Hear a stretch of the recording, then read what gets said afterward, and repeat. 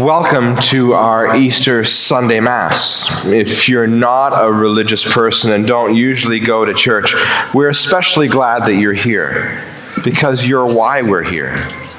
We aim to be a church where anybody can come and be a part of our community. So, welcome. Now, if you are a guest, I know what you're already thinking. How long is this guy going to talk for? But don't worry, I'm not going to talk too long. And you can hear the regulars already saying, Don't believe him. but it's true. I, I, just want to share a few thoughts with you on this holiday that we're celebrating. A few thoughts, starting with this thought. Most of the time in life is ordinary time. And ordinarily, things in our life are headed in a usual direction, which is generally the right direction. Maybe we need a little adjustment here or there, a, a few tweaks from time to time, the occasional course correction or two, but they're generally headed in the right direction. And then there are other times where they're not, when we can be headed in the wrong direction, maybe a really wrong direction as in totally wrong, when things are so out of whack that we need a total overhaul and a clean slate. We need a reset. And that can be difficult. It could be dramatic, impressive, and even life changing.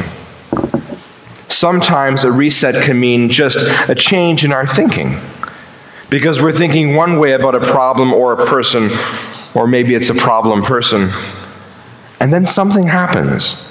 Something changes. Something's different than before. And we have a reset. Sometimes we do a reset when it comes to our behaviors. For example, you're carrying a lot of debt and you suddenly stop spending and you get yourself out of debt. Sometimes it's a reversal in fortunes. A lot of movies and stories are about reversal in fortunes, everything from Cinderella to Rocky. Sometimes it's a reset in lifestyle. And the most common cause? Babies. Almost nothing else has more of a reset effect on a couple's life than the birth of their first child. Resets are always interesting but often they can come as a surprise. And that's Easter. Easter celebrates belief in Jesus Christ's resurrection from the dead. Christians believe that three days after Jesus was brutally killed, he rose from the dead. Easter is perhaps the biggest reset in all of history. To better understand that, we're going to look at a passage from the book of the Bible that is called the Acts of the Apostles. The apostles were Jesus' first friends and followers, and Acts tells the story of, you guessed it, their acts. It tells us what happened on that first Easter Sunday and the time that followed. The passage we're looking at is a speech given by one of the apostles, a man named Peter. So the book of Acts tells us Peter began to speak. You know the message that spread throughout Judea, beginning in Galilee, after the baptism that John announced. How God anointed Jesus of Nazareth with the Holy Spirit and with power. So, Judea, Galilee, and Nazareth are all in Israel, where Jesus lived and where he worked. If you lived in that area of the world in the first century, you knew about Jesus. You couldn't have not heard about him. Wherever Jesus went, he made waves, he, he made noise, he made news, he attracted huge crowds. People wanted to be around him and listen to him. People who were nothing like him liked him. And Peter tells us why. He went about doing good and healed all who were oppressed by the devil.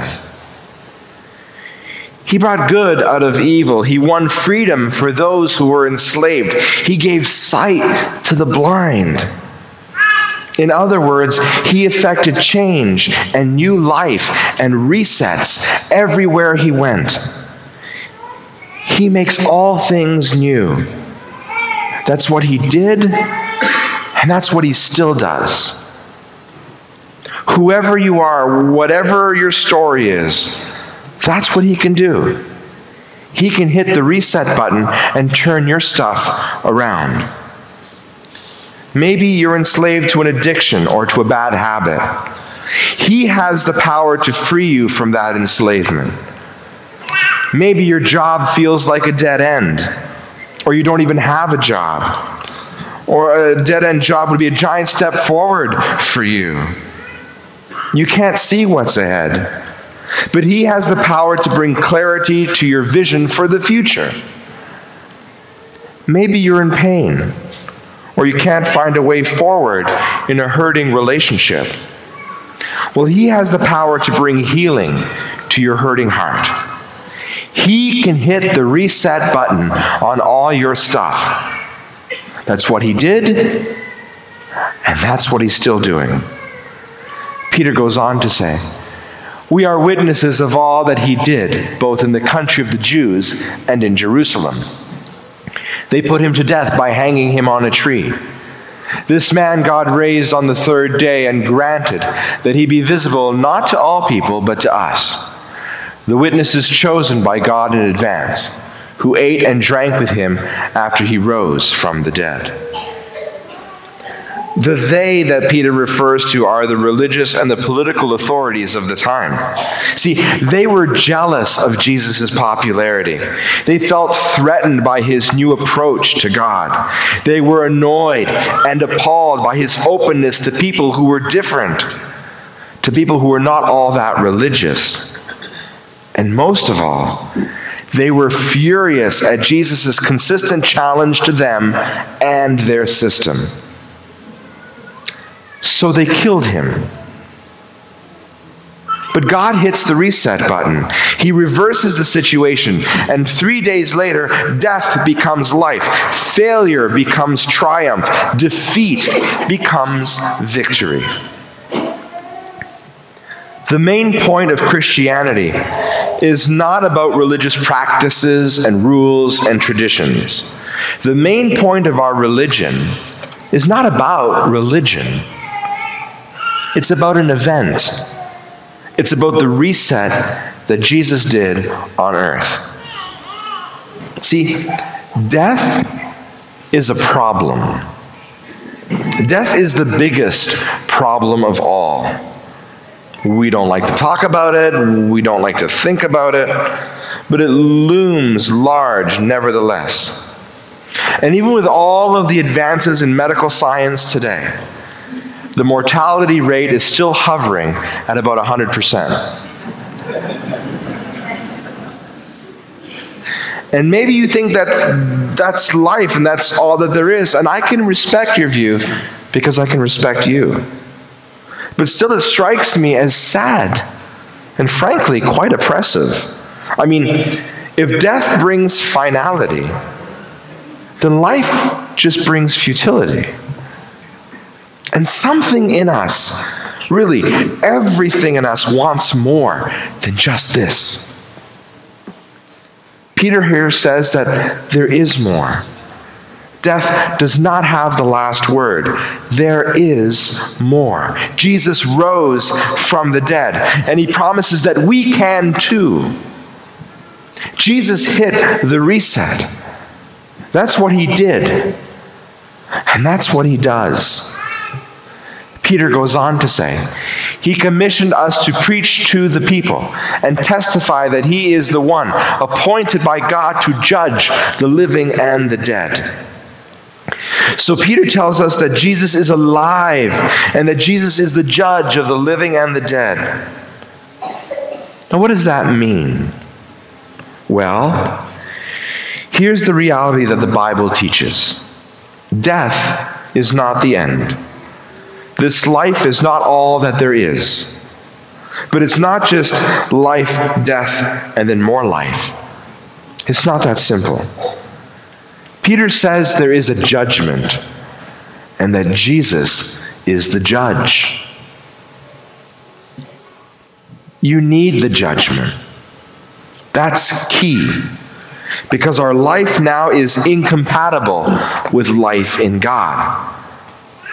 Our life is so scarred and sin stained. God is so holy, and we are such unholy messes sometimes that there needs to be a reconciliation, a recalibration, which the Bible calls judgment. Which might be unfortunate because we don't really like that word, do we? We don't like that word because we know the feeling. Like being summoned to the principal's office, or being called out before your parents, or your boss, or an unhappy client, or seeing those flashing lights in the rearview mirror just before you're being pulled over. We all know what it feels like to be judged, me included.